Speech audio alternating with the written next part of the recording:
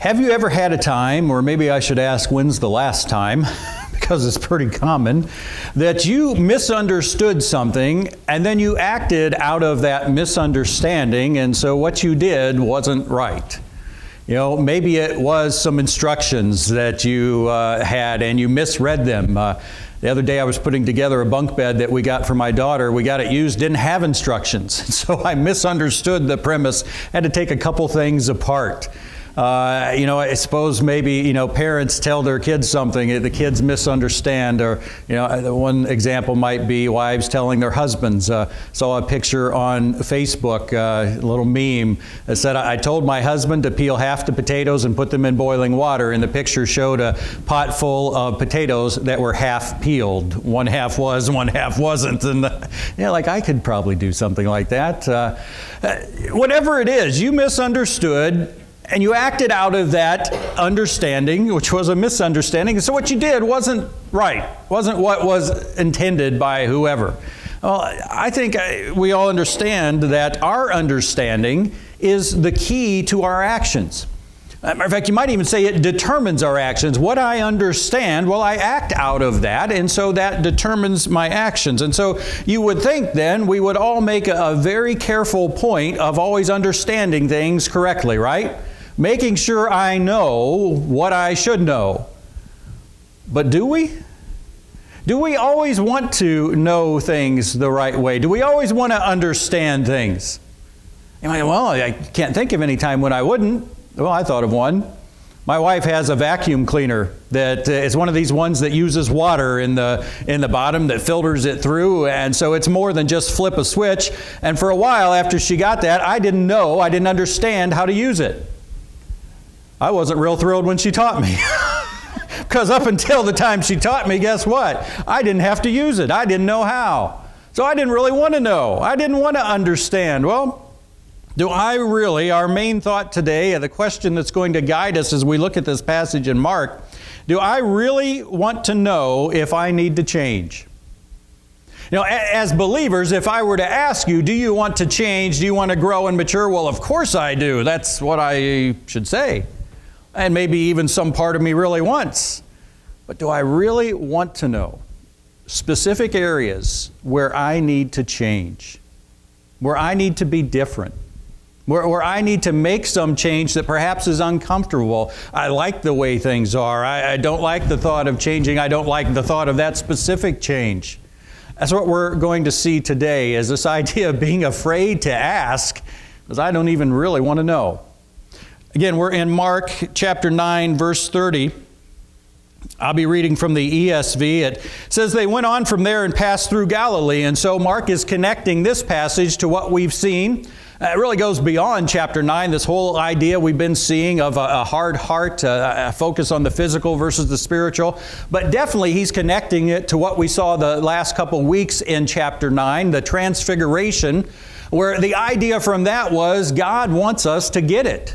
He wants us to know what we need to know so we can live out of that, and He'll do everything it takes for us to know. But we have to realize at times when we don't get it. That was the disciples coming down, Jesus and the three, and the disciples at the bottom hadn't been able to cast the demon out of that man's son. And uh, I believe, as I said, it was an action parable of sorts. It really happened, but there was a point there. These disciples were relying on their own ability to understand and didn't realize they weren't understanding. So here was this very obvious physical situation. They relied on their own ability to cast out the demon, and it didn't work. so there should have been a lesson there. Hey, guys, it's not working in this area either. And you have the fathers, I believe, help my unbelief. He recognizes something is missing the disciples didn't. Well, all of that God wants us to know, but we have to be open to looking, and we'll see sometimes we don't really want to know. Verse 30, they went on from there and passed through Galilee, and he, Jesus, did not want anyone to know, for he was teaching his disciples. So he didn't want the crowds around them. He was focusing on the twelve, saying to them, The Son of Man is going to be delivered into the hands of men, and they will kill him and when he is killed, after three days he will rise. But they, the disciples, did not understand the saying and were afraid to ask him.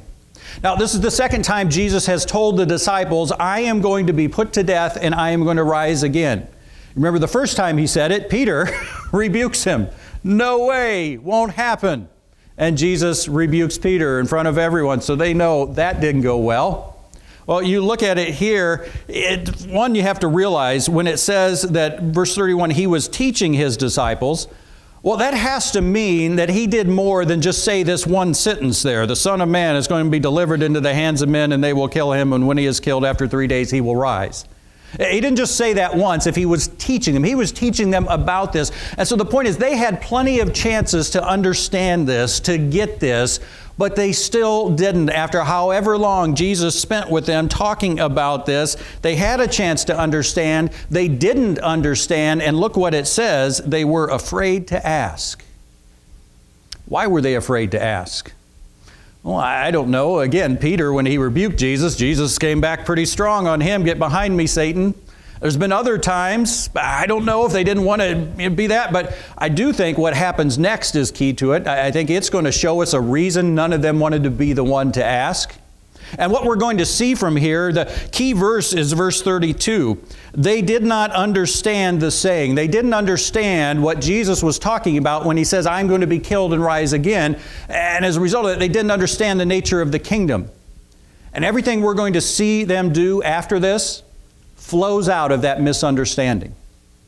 All of their actions are going to become, are come as a result of this misunderstanding of the kingdom. So let's look as this section continues. Verse 33. They came to Capernaum, and when he was in the house, he asked them, What were you discussing on the way? But they kept silent, for on the way they had argued with one another about who was the greatest. Now, obviously, they know that really wasn't the thing to be doing because they, they don't just go ahead and say, Hey, Jesus, we were doing this. They knew they shouldn't have been doing that. They, they knew it really wasn't the best thing to be doing, but they were doing it, weren't they? They were asking who is the greatest there. And think about it. I just said they misunderstood the kingdom. You know, Jesus is talking about, I'm the Messiah. They know He's the Messiah. They've acknowledged that. I'm going to be put to death and rise again. They didn't understand that. They didn't understand the nature of the kingdom. What was their understanding of the kingdom at this point? I've said several times two things. The big one is it's going to be physical. Messiah is going to come. He's going to overthrow Rome, set up His kingdom. And then the other side is going to be Jews only. That one gets dealt with a long time later. But here they are. Well, think about it. If your understanding of the kingdom is that Jesus is going to be the king, and here we are, his 12 closest followers, what are they going to be? They're going to be his officials, right? And there's got to be levels of officials. I mean, they, they didn't have presidents and vice presidents, but you can't have 12 vice presidents.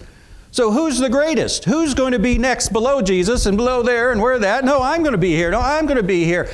Their actions totally flew out of or flowed out of and even were consistent with their understanding. If it's a physical kingdom, yeah, maybe we shouldn't be discussing it on the way, but it's got to come up sometime. He's got to make these appointments once he kicks out the Romans. Might as well get it settled now. Who's the greatest? I'm going to be the one that gets this position. They acted totally consistently with what they understood. Just like we do. And I also think it gives some insight.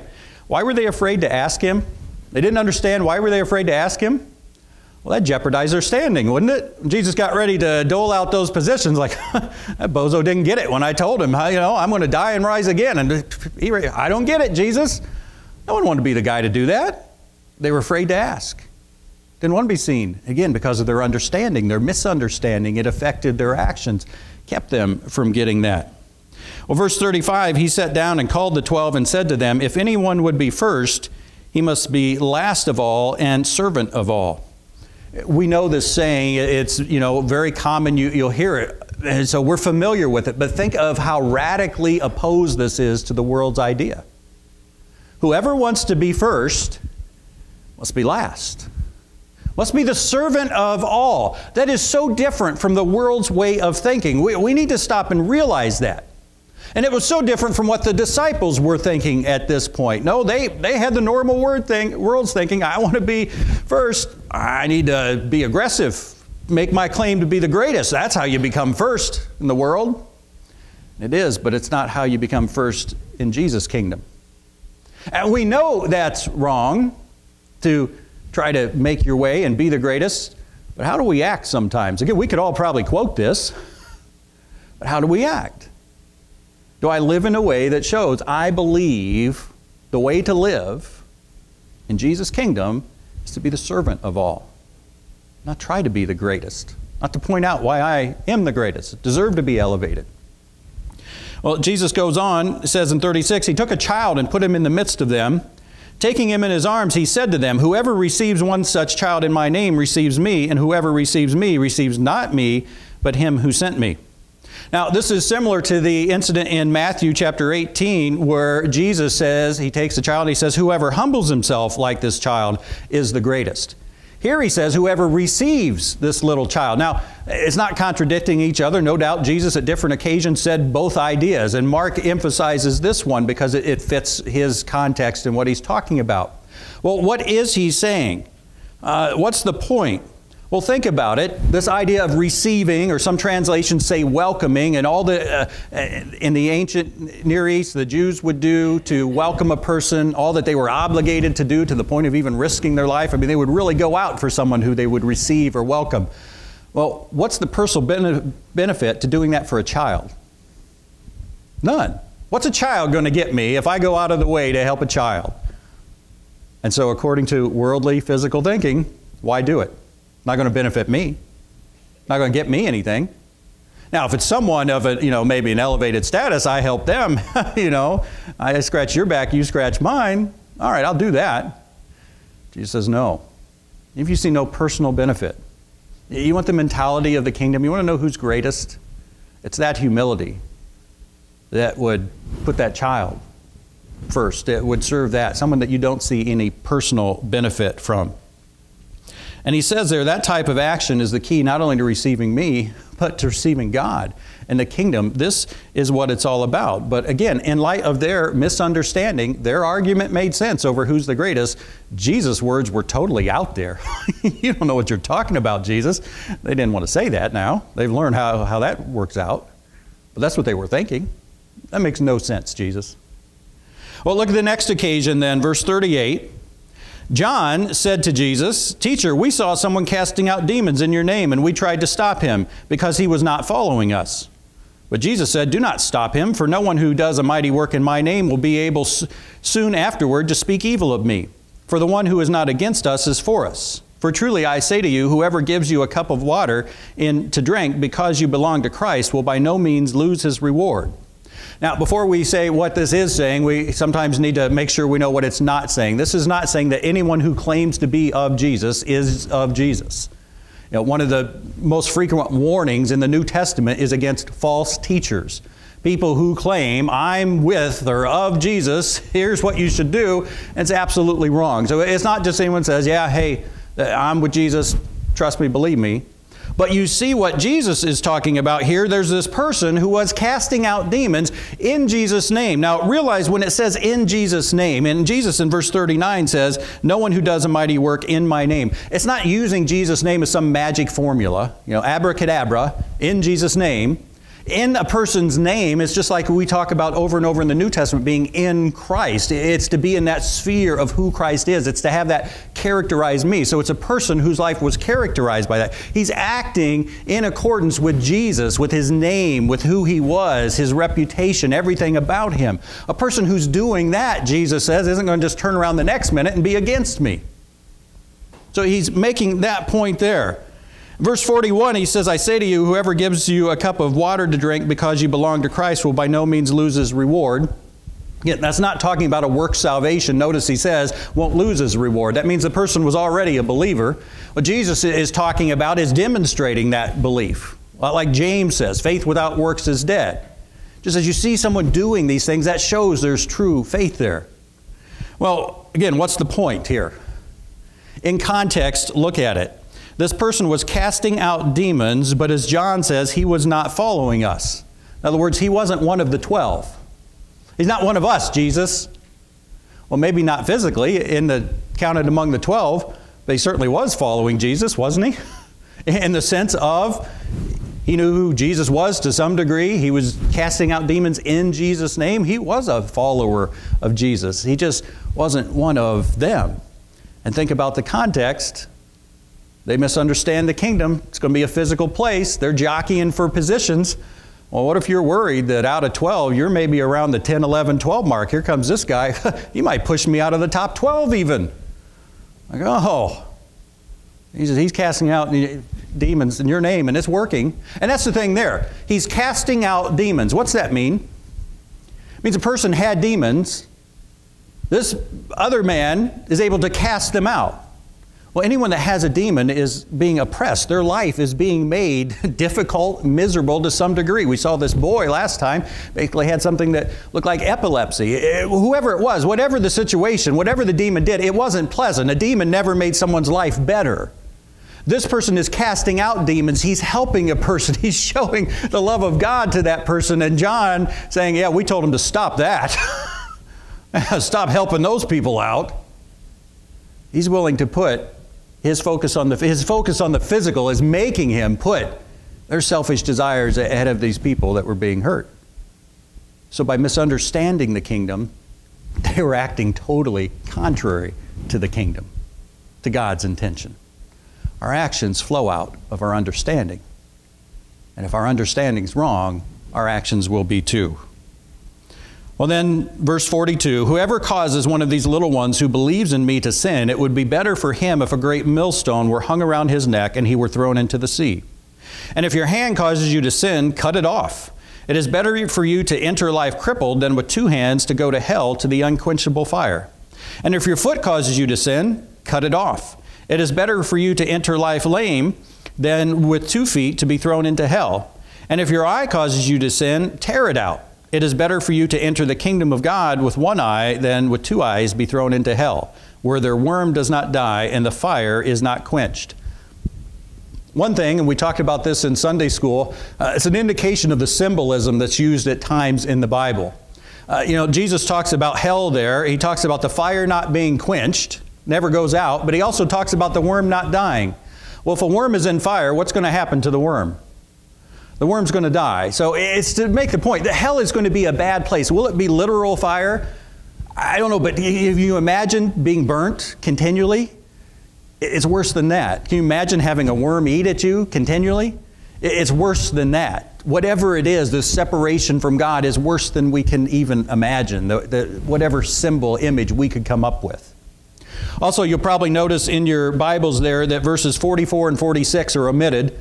Uh, they say the same thing as verse 48, where the worm does not die and the fire is not quenched, and it says, you know, some old, most older translations don't have this.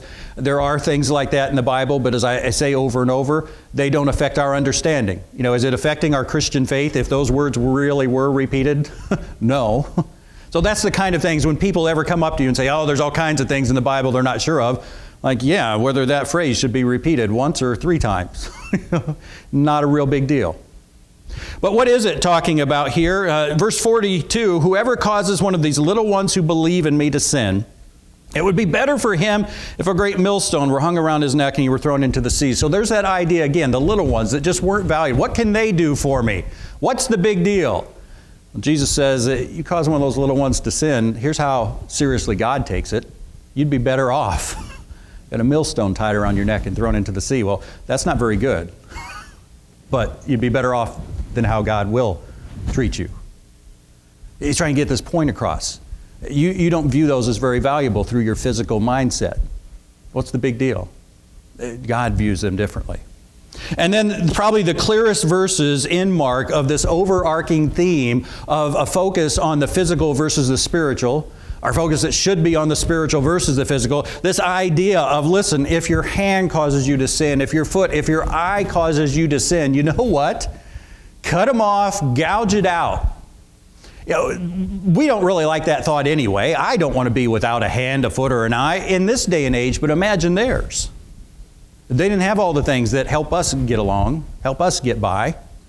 That's how serious it was. And Jesus says, listen, this physical, as serious as that would be in the physical realm, trust me, compared to the spiritual realm, that's where your focus needs to be. It's far more important to keep yourself from sinning and really, as we've been seeing here, it's far more important to get rid of anything that keeps you from having the right understanding. They were focused on the physical. They wanted a physical kingdom. They wanted to be Jesus officials. They didn't really want to see the truth. Jesus like, get rid. Uh, I don't care how valuable it is to you, how important it is to you. Get rid of it if it's keeping you from doing what you need to do, from understanding what you need to do. That's what he's talking about here. Verse 49 then, for everyone will be salted with fire.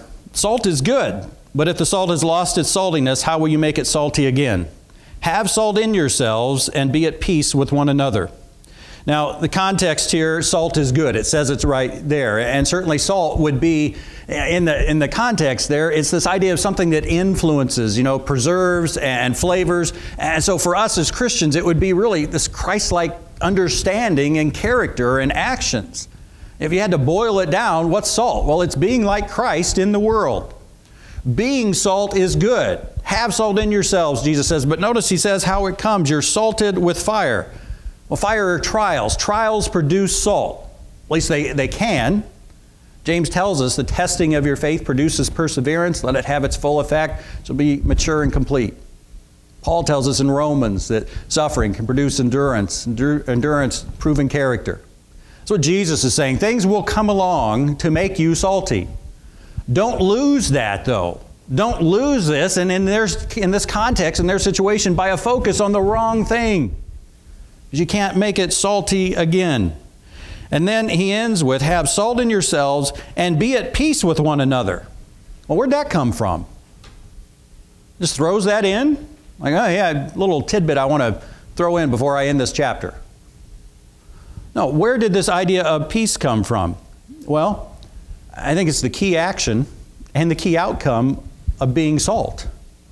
It's the key thing. If I'm to have Christ's character, I'm going to be doing things that lead to peace with others. And if I'm to have Christ's character, those things I'm doing will lead to peace. It's not just directed, it's the result, it's both. And think about it, what we've seen in this context, these people who didn't have Christ's character, didn't have his focus, didn't have his understanding, what'd they do?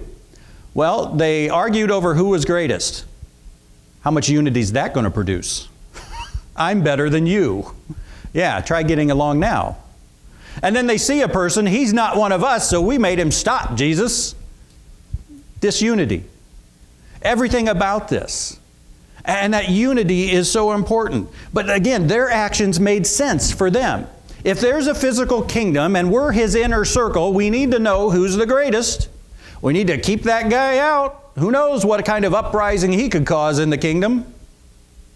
Their actions made total sense in light of their misunderstanding, but they actually undermined the very nature of the kingdom itself. All right, what about us?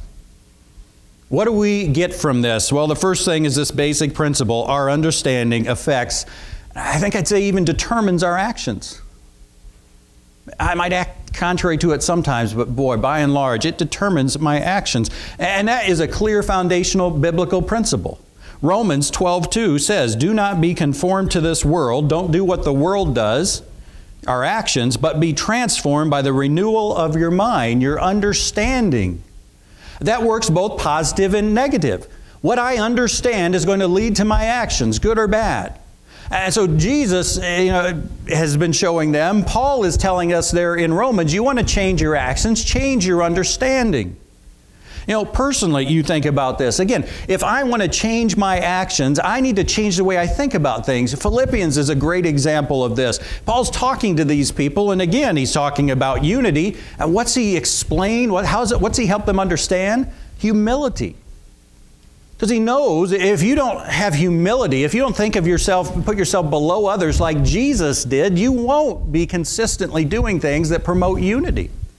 And so, to get them to do the right things, he spends a long time explaining, helping their understanding. You need to know this. I think it's what the whole book of Romans is about. You had the Jews and the Gentile Christians not getting along. So, what does Paul do? He explains grace. Listen, you're looking down on each other because you got yourself up where you don't belong. All have sinned and fallen short of the glory of God. We all need God's grace equally. Get along, people. But he doesn't just start with get along explains doctrine, 12 chapters, 11 chapters, certainly 8 chapters, and gets off on a tangent like he's prone to do. But that's what it is. And so, at me, I need to understand these things. Just dealing with sin in general. How do you deal with sin in your life? How do you overcome sin? You ask most people, how do you do it? Well, you try harder. You do better. You buckle down. You get serious about this sin in your life. Does that work? No. But if that's my understanding of how I deal with sin, that's what I'm going to do. Paul says in Colossians, no, the whole do not taste, do not touch. They sound wise. It makes sense, doesn't it? Well, just don't do it. Work harder at not doing it. Try really hard not to do it. That makes sense. says it sounds wise, it doesn't work. It Doesn't work. But if that's what I understand, that's what I'm going to do, and it won't work. Same thing as a church wide focus. Our understanding affects our actions. All right, well, what do we understand? What do we know? You know, if I understand that the ritual surrounding how I serve communion is more important than what communion is and what I get out of it, I'm going to miss the point. I'm going to act out of that misunderstanding. I'm be doing something, but not the thing I should be doing. Certainly not the way I should be doing it. How many times have we seen this focus on the physical? And that's really the next thing. A focus on the physical versus the spiritual is our foundational misunderstanding. If you had to really break it down, okay, when we talk about the way I misunderstand, it's because in some way I focus on the physical versus the spiritual. And you remember I said these are like columns, you know, the physical and the spiritual. A focus on this world versus heaven, on the temporary versus the eternal, on me versus God. All of those things in those columns, I do them and they go together. That's the foundational misunderstanding. And the thing that can really get us in trouble is a lot of times we can focus on spiritual things in physical ways. As believers, as people who are, took the time to be here, you probably spend a lot of time thinking about spiritual things. So did the disciples. They were thinking about the Messiah and the kingdom all the time, weren't they? And they were thinking about spiritual things in physical ways. Here's the Messiah. He's going to set up his kingdom. What's it going to look like? Well, he's going to throw out those Romans. He's going to put us up as his top officials. Those are very spiritual things in physical ways. The same thing for us. We can think about spiritual things and God and you know His Word, but we in physical ways. You know, under those columns also you have law versus grace, legalism versus grace, works versus faith. And so I can approach this whole Christian life in a very physical way very me centered, man centered, work centered way. And one thing we've been seeing about the hard heart and not even realize it. You think these disciples realized it? No. You know, it seems like they sort of knew, hey, we shouldn't be arguing over who's the greatest, so no one wanted to tell Jesus. But John just spoke right up. Hey, that guy wasn't for you. We told him to knock it off for following us. We said, knock it off. He didn't know that wasn't right. They haven't known. That's why Jesus has been saying over and over, Are you still not getting it? You still don't have understanding. And they're like, Oh, we didn't know, we didn't know. That's one of the key marks of this. And it leads to actions that make sense in light of it. Again, I act out of what I understand. If my misunderstanding is wrong, I'll act the wrong way. I don't even realize my misunderstanding oftentimes is wrong. And then the other thing, certainly, this passage shows us is that a lack of unity is our foundational resulting actions. Again, what do we see throughout? The disciples arguing. Who's the greatest? The disciples is, You're not one of us. Disciples doing anything but being a servant of all. The disciples valuing others, but not, you know, someone who Jesus had to make a point of a child. You know, they, they treat someone important well because, hey, that might benefit me. Everything they did then undermined unity everything they did. If we don't get it, the result, the thing that you'll see on the surface, there will be a lack of unity among believers.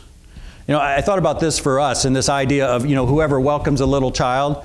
And for us, it's, it's more than just a little child. I think, how often do you get in the point, and, you know, welcoming might mean just spending some time, you know, giving up some time for a person, you know, whether it's sometime in the day, whether it's meeting for lunch or coffee. How often do you judge it on, well, what can that do for me? That's not going to get me anything. I know it's tempting for me sometimes to give up a lunch. Well, who is it? I'm pretty busy. You know what? I, realized, you know, someone might call me, you know, or hey, could we get together for lunch? And if my, you know, my initial thought, if it's just, you know, maybe me helping them is, oh, man, I'm really busy. But there's someone I really want to have lunch with, I clear my calendar like that. You know, someone I thought, wow, that could really get me places. All right, make room. Two, three hours, how long you need for lunch? We're all tempted to that, aren't we? And again, that, what's that do then to those other people? Like, everything affects our unity. How I treat that other, well, no, I don't have time for you, but they see me do that. It's all about this unity. A lack of unity then destroys the effectiveness of the church.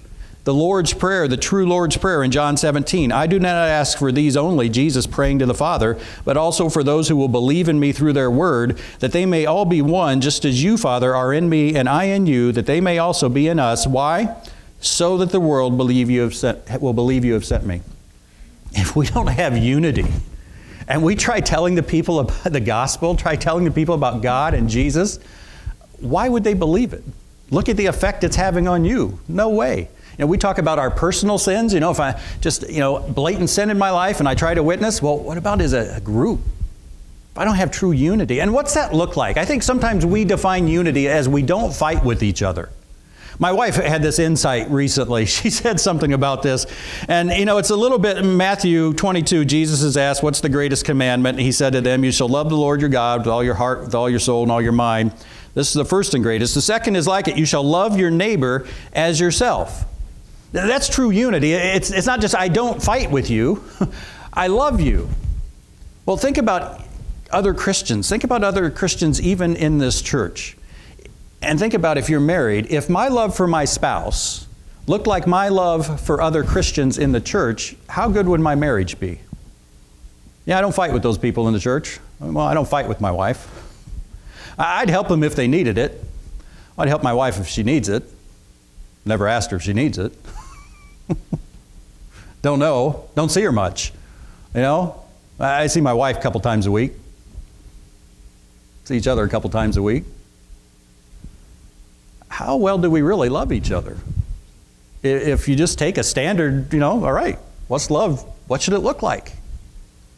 So this idea of unity, again, it's foundational. Disunity is going to totally you know, destroy our witness. But to have a true witness, we got to have a unity that's more than, hey, we aren't fighting we truly love each other. We're truly showing love to each other.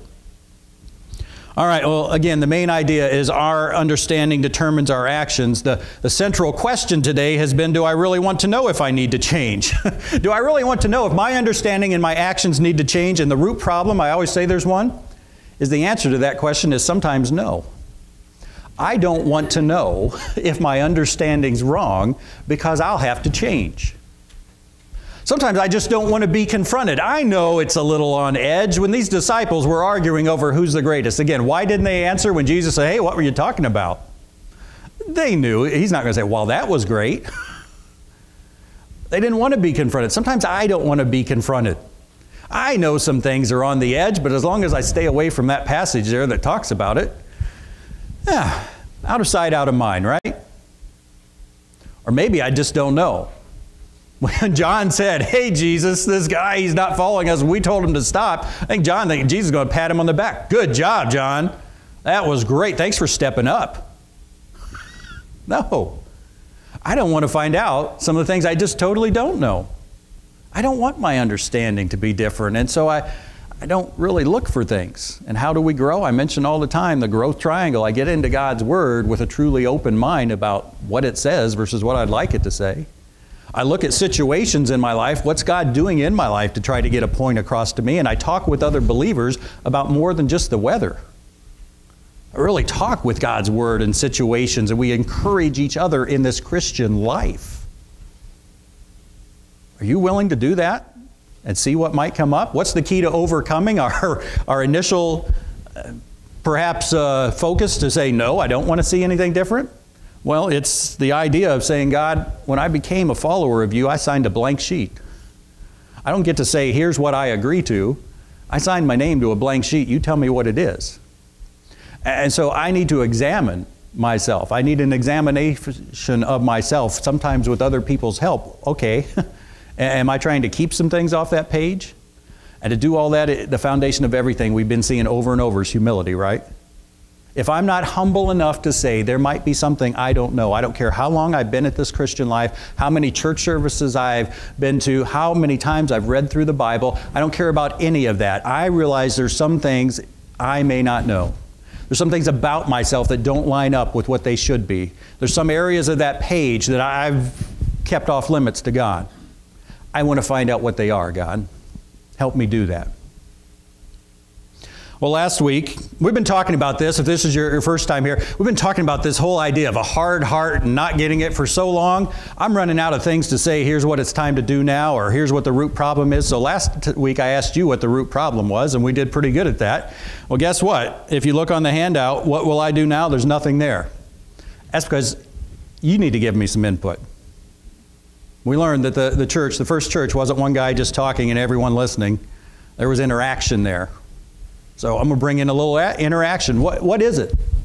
What can we do now? What, just take what we have. What should I do now to help take this principle of sometimes I don't really want to know something different because I'd have to change. I know that shouldn't be the case. I signed up, I committed to a blank sheet. All right, what should we do now to make a step forward here? Ease into it. I suppose that's one way. Isn't that maybe that's a personality thing? Who likes to ease into change? Who puts their foot in the pool before you jump in? Okay, who just dives in? All right. So I don't know how that would be. I think for some of them, I, I guess the answer might be how do I best change? How is it? I know I need to. I need to be open to it. What's the best thing going to be? I, am an easer inner? Okay. Here's a step, here's a step, here's a step. or I'm a jump in the pool. Here's that. So find out what's the best way you change, what helps you change, what hinders you from changing. If maybe the thought of diving in scares you to death, well, okay, then take the step. What else? What do I need to do to take today and make it real? Be honest. Isn't that what we've seen over and over and over? But we all think we're being honest with ourselves. So I can check that one off the list. I'm honest with myself. Who wouldn't be honest with himself? Ask God to help me be honest with myself. Who else might be a good person? What? Leading question. You're not asking him. but how may God show you that you're not honest with yourself? Sometimes through someone else, right? Yeah.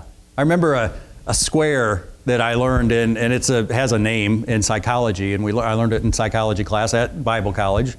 And uh, it was this idea that, you know, our life's divided into these four quadrants. There's a part of me that I see and everyone sees. You know things about me. You know I'm forgetful. I know I'm forgetful. We all know that about me. You know me well enough. There's a part of me that I see that you don't see. There's some things about me you don't know, even after all this time we've spent together. There's some things about me that you know better than I know. And that's why I need to ask some people. There's some things about you see that I'm sort of blocking out. No, I don't see that. I don't want to see that, but you see it. And then there's some things about us that only God sees, and we need to ask Him, and He'll show us. I tell you what, if I really want to examine myself, if I don't ask for some insight from some a trusted Christian who'll be honest with me, speak the truth in love, I don't really want to know. So you got to have someone like that. Anything else? Try to focus on others. What's that? How's that help?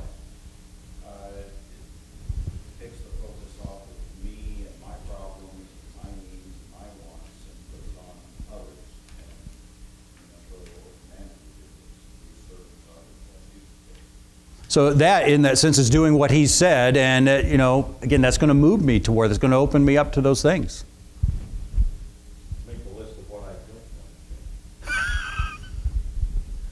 there you go. Isn't that great? Aren't, we know some things I, I wouldn't like to, and if nothing else, it opens me up to it. Puts those on the table, so God can help me see them better. A little bit like, you know, you pass the billboard every day and you don't notice it until someone says, hey, did you see that billboard of that place or that restaurant? Now I see it all the time, right? Well, make that list. You know, God's been trying to show me, but I haven't. It's not even on my radar, but that'll put it on my radar. What don't I want to change? we have the information. We have the information. We have, yeah. Now we have to do something, do something with it and sometimes get in and look at it that way. You know, passages that maybe I've seen forever, but if I see them in light of, God, I'm open to changing, here's the list of things I really don't want to, so I think you probably might tell me.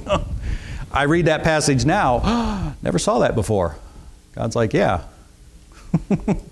Been there the whole time. You weren't ready for it. You weren't open to it. You weren't honest with where you were in regard to it. Take this stuff again, it's only a history lesson or a pep talk if we don't do this last thing here. And God, what do I need to do to take this and live it out? I want that. Don't you want this?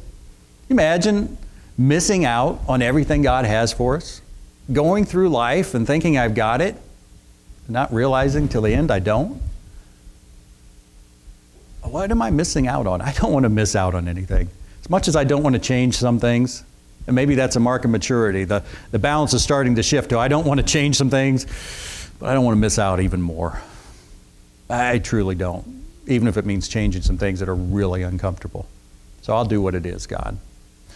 Well, we end every service with a time of decision and invitation. And I always say there's the invitation for someone who's never made this commitment to Christ to make it and start the process. There's an invitation for all the rest of us to, all right, take this step we've been talking about today that maybe has you a little nervous. But it's your time to decide whether you decide right there on that mark of maturity or come up and talk to me. Certainly, if you need to make that decision to accept Christ initially, come up and talk to me now or afterward. And whatever it is, don't leave here today the same as when you came in.